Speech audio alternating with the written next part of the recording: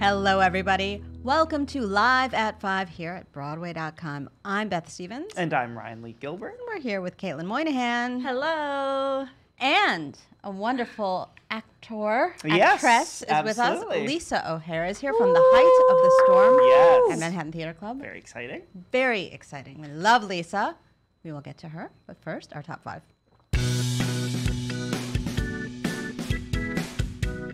You guys now have an- even more time to experience this once in a lifetime theatrical concert event. Yes, look Ooh, at look at her quoting Look the talking heads. Selling it. We're talking about David Byrne's American Utopia, of course. Um, and it has received a month long extension here on Broadway at the Hudson Theater. So if the show was originally announced to run through January 19th of 2020, but now you have four extra weeks to head over to the theater to see it. It will now conclude its engagement on February 16th of 2020. So you can take a Valentine's Day date to see Oh. David Byrne's American Utopia. Look at that. You're welcome.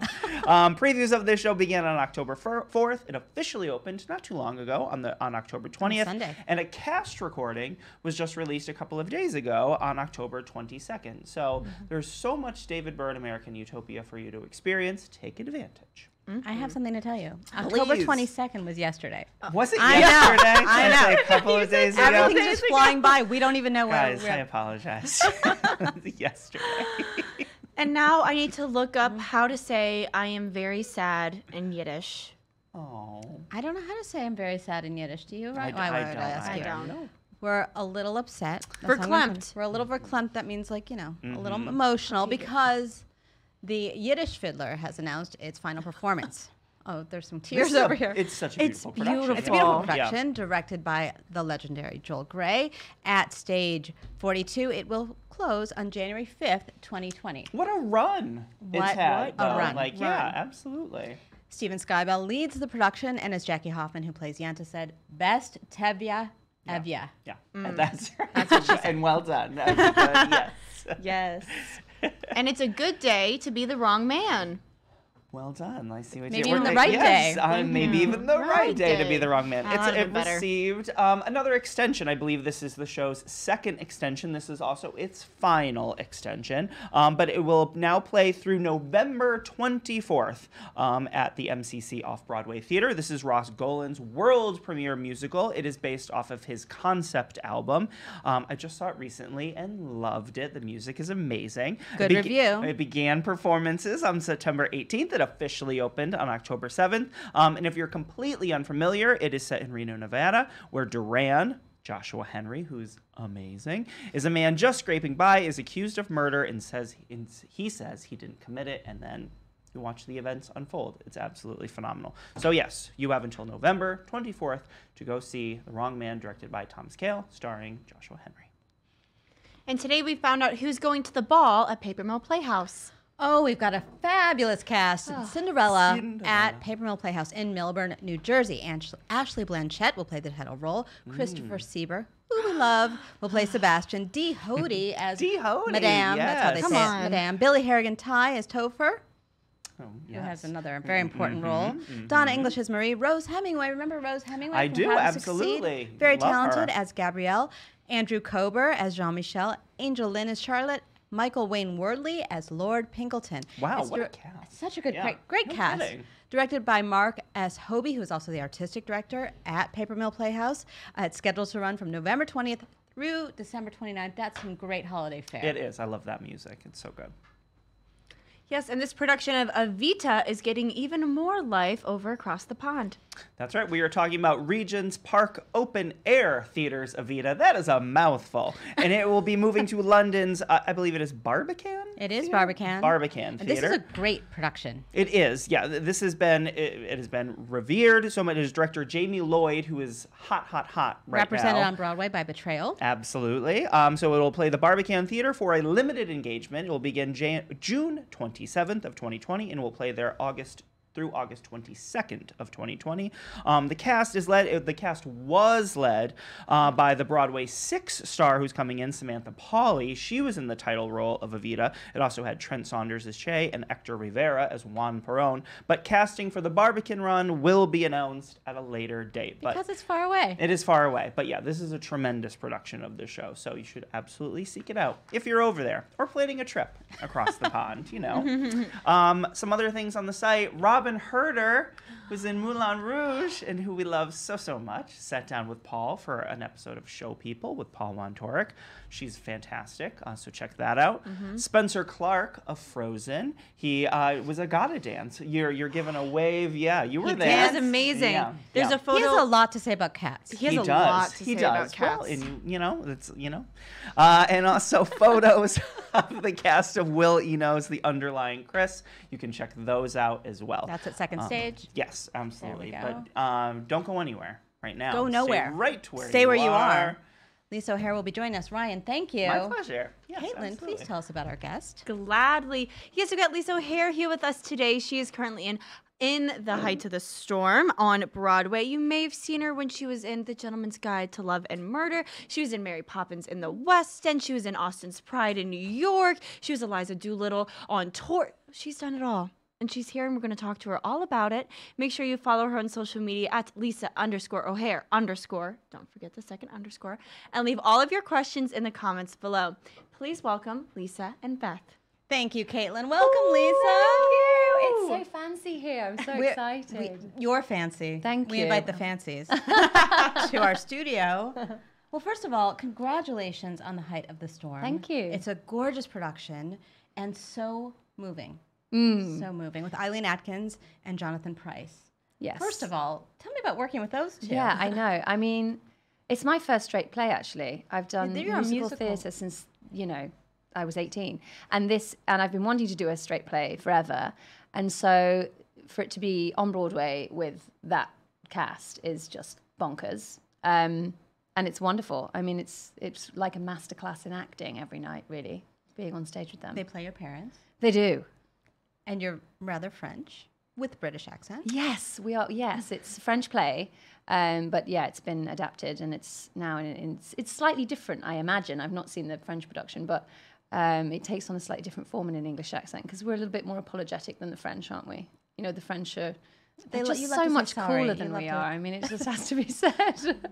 Well, speaking of cool, this set is pretty cool because you're in this sort of country house Mm-hmm. somewhere outside of Paris. Yeah, this sort of little apartment. It's it's really beautiful, and it's so detailed when you're on when you're on stage. Everything it's sort of it's like being on a set on a movie set. The detail that's in, on the set is is beautiful. I love when that happens. Yeah. Tell us a secret that's on there that we might not see from the. There is an old band aid or plaster, if you're English, um, on, in the kitchen, which slightly grosses me out every night when I go over there to do the chives and I'm cutting the chives. And I was, I, I only noticed it about four performances It's ago, not and I was like, like, a "What stagehand is left it there. It's actually Oh well, there. maybe, but because I have only just noticed it. But it's sort of like I don't know. Madeline maybe cut her finger while she was in the garden doing her vegetable gardening, and she came in and There's then she lot just of gardening and discarded it. cooking, and you never know what could happen. You know, there's lots of knives involved in our show, so you need band aids.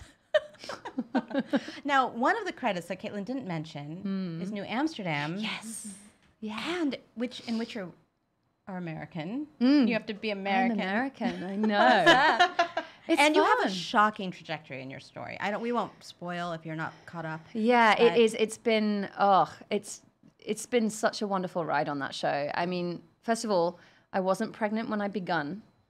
Then, Right. I, but I was pregnant in the show. Then I got pregnant. so then we sort of got rid of the fake belly, and then I grew a real belly. And so I've never been on a show where I've had such a sort of personal connection with it. Then I gave birth to my daughter, and then of course, you know, the baby was born um, on the show. And so then it I, tracked. It it was your actual belly at one point. it was my show? actual belly, yeah. So it was really amazing. And then I went back two weeks postpartum to film the Two yeah weeks? Two weeks? two weeks postpartum.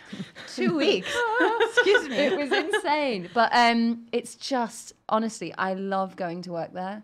It is the best group of people, um, crew, actors, producers. Everyone is like genuinely amazing, and it's just the most wonderful place to go to work. And what twists and turns in this Oh, the storyline. storyline. I, mean, know. It's crazy. And I know. New Amsterdam Twitter is a shocking place to be because people. I'm not on there anymore. Are you I'm not- on there. I on was Twitter? once on there, and then I just I can only deal with so much social media because I'm really terrible at it. So now I'm on think that's true. Instagram because I quite enjoy that. So I just focus all my energies onto that because I can't keep up. you can show off your daughters.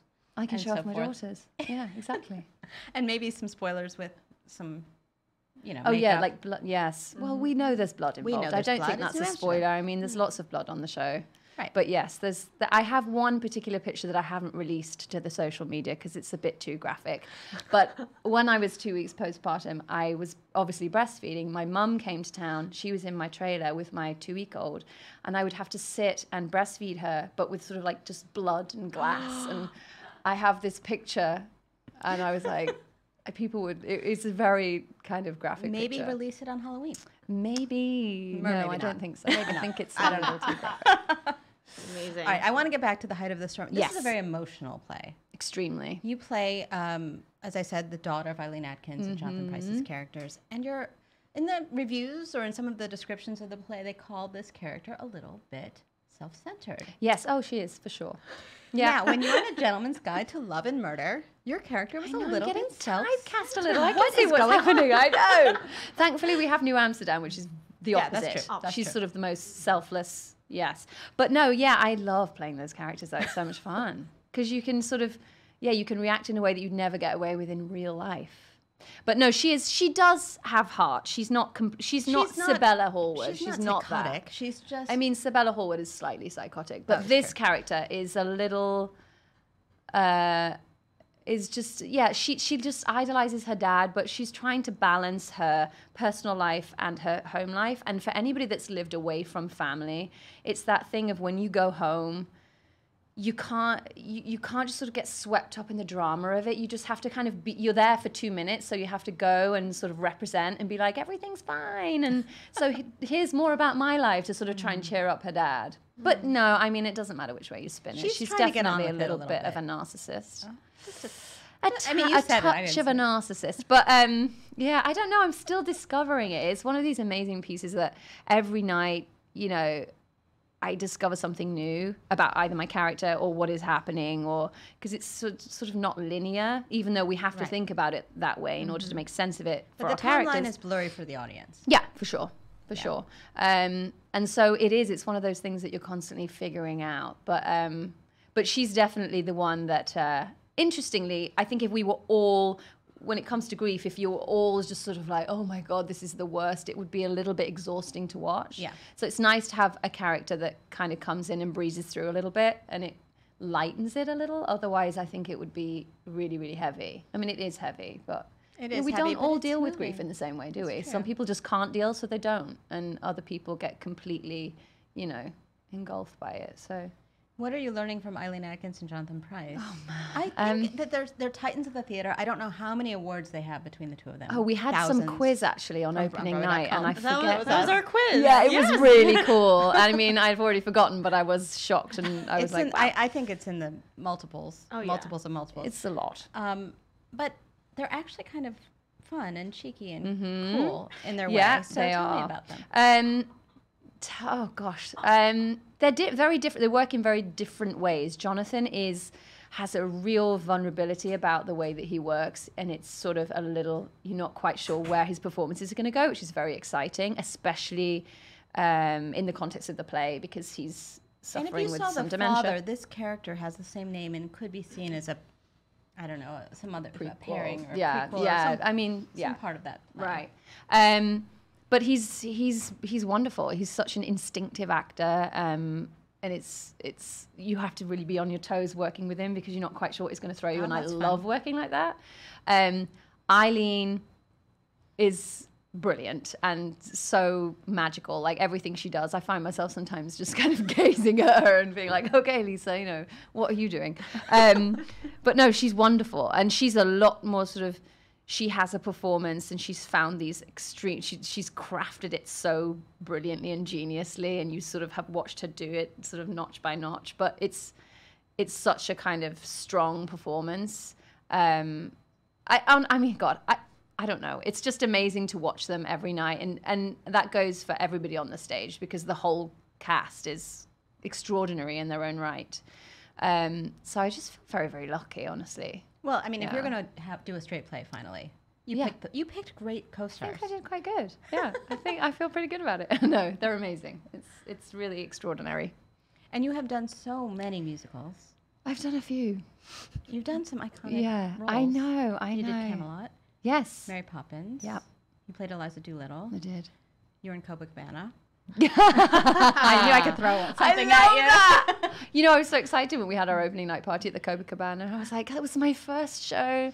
I was 18. I wore barely any clothes. And I, you know what? If I could go back and do anything again, it would be that. I had so much fun.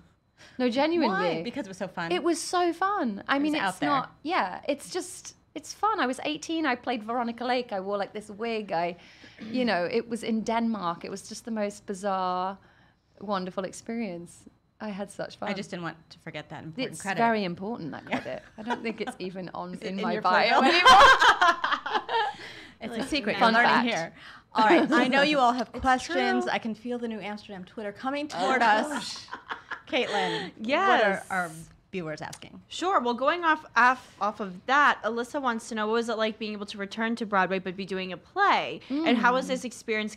Was it different preparing for it, this, or is your mindset differently now? Yeah, I mean, versus a musical. I guess it's fun to sort of be just invested in the storyline and not have to worry so much about the vocals because as much as I love singing, um, it's just it's a really nice, refreshing change to just be sort of like invested in the story and in the character development.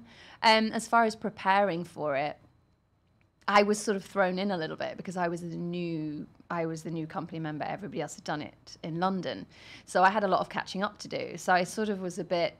I worked backwards in a way because I was told where I was supposed to be and how everything was supposed to go, and then only when we got into previews did I start to unpick it and figure out why I was doing what I was doing, which is a bit of a backwards way of working.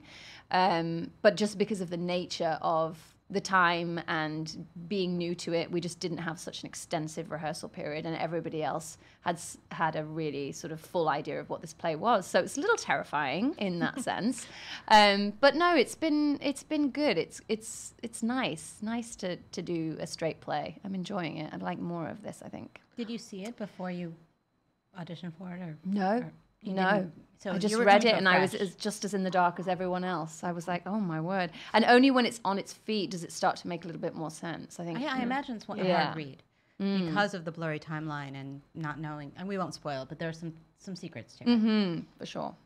Love that. So Kelly wants to know what is it like working with such an intimate group of people because it's only there's so few of you in the cast and being on stage. What's that like? Tell us about the family. The family. Yeah, I mean, it's we have some some dynamic between us. You know, there's like. It's like it's exactly like a family, you know. When we sit around in rehearsal, when we sit around a dinner table between shows, there's it's kind of like sitting around with your family in a way. Um, my sister and I, um, Amanda, get on wonderfully well, and uh, we have to have some sort of tension on stage. But she's such a lovely girl, so that's it's been that's been nice to get to know her. But everybody in their own way has their own brings their own thing to it, and it's nice to work with a small company because you get to know everybody a little bit more personally. Um, yeah, no, it's been fun. Did you have any bonding activities to get to know each Bonding other? Bonding activities. Just went Um, out for dinner. Dinners, I guess. Yeah, birthday dinners. We've celebrated about two or three birthdays now, so we go out and we have we have these sort of family dinners, which is nice. I love that. So Lexi wants to know what is it like being back in New York City? Do you live here full time? They want to know what's your deal with New York. Tell us about your City? personal life, Lisa. York. Well, I'm- yeah, I mean, You're a I'm New Yorker now. I'm well, New Jersey. New Jersey? It's Sort of. I mean, it's not Tri-state. really a New Yorker, but we had to go out there. We needed space. I have two children. Two girls. two girls, a seven month old and a four year old. So that's all of my time when I'm not doing this, I'm doing that. and I love it. Um, so yeah, we moved to Jersey. We're there full time. We were in LA for a, about four years and we then I got Gentleman's Guides. We came here and we've not left. We're still here. And we love it. My husband's uh, Broadway sound guy, so he's always busy. Love So. I think we're here for the foreseeable. I love that. We can do one more question. And Mark, speaking of Gentleman's Guide, they want to know. I love I love Gentleman Guides for Love and Murder. I saw it over ten times. What is your favorite memory from doing that show? I Um, thought they were going to say, "What's your favorite murder?" Which you can also answer. Oh, my favorite murder. Uh, my favorite memory. I mean, I have two things that stick out. One is my favorite, and one is my least favorite. My favorite memory was probably when we did the Macy's parade because it's such an, I mean, such an iconic thing. And when I first came to the states, I was like, oh my god, this is so amazing, and I'm obsessed with Thanksgiving, the Thanksgiving parade. So that was special. Um, my the thing that stands out the most to me uh, was when I, which I shouldn't share with anybody, but whatever. Um, It's just a- I forgot. I had this sort of patter section in the "I've decided to marry you" song, the f- the, The the door. farce with the th- with the doors. Um, and I had to sort of do this really quick patter section, which was like, "What am I doing here? This could be dangerous." And if you lost, if you lose where you are, then it's sort of really terrible. Um, and I just had a day. And i always used to run that section before we would perform it because i got so nervous about it. And i'd begun but i started with the second section instead of the 1st and as the words were coming out of my mouth i was like oh god no no no no. Um, and so i sort of stopped and apparently according to jefferson mays i then sort of did this monologue kind of weird. I don't even know what came out of my mouth but i'll never forget the feeling it gave me and i just oh it was just horrifying it was just the worst and it was pretty obvious to everybody that it had gone horribly wrong and i was just sort of saying oh no, there's someone in the other room, and I don't even know what's coming out of my mouth. It was so horrifying. Um, I'll never forget that. I mean, I can laugh about it now at dinner parties, but I was genuinely. Um, I feel like I'm in a bit of a cold sweat just listening. Oh, it's talk about horrible. it. You just was like black out, like black out. You're like, what happened? Yes, Yes. yes, Yeah. But no, that show was oh, it was lovely. I loved it. Do you keep in touch with it. all of the, all of those guys? Yes, Bryce I Pinkham do. right now is in Great Society playing Bobby Kennedy. Yes, we still keep in touch. I yes. Oh, I was going to tell you something about his personal life that I should not have said. Shoop. It's just Yes, loose lips over We here. are. I know. We are in touch. He's he's a good friend. Yes, all of them are. Jefferson Mays. He And he came to see the play. He came to see the height of the storm. Uh, well, when a few weeks ago he was over. He's going to be doing the Music Man. I think we can say that. Yes, right? that's true. Yes, yes, that's true. They're true. only casting Tony winners in that show. I know. Damn. There's still time to strive for. yes, yes, yes. Well, yes. thank you for joining us, Thank Lisa. you. You guys go see The Height of the Storm at the Samuel J. Friedman Theater. It is a ride, and it's worth it. Caitlin, will you take us on out, please? Yes. Thank you guys so much for tuning in today. We are live at 5 every single weekday here on Facebook. You can listen to us wherever you get your podcast by searching for hashtag live at 5 and hitting that subscribe button. Be sure to tune in tomorrow when we talk to Raul Esparza of Seared on his birthday.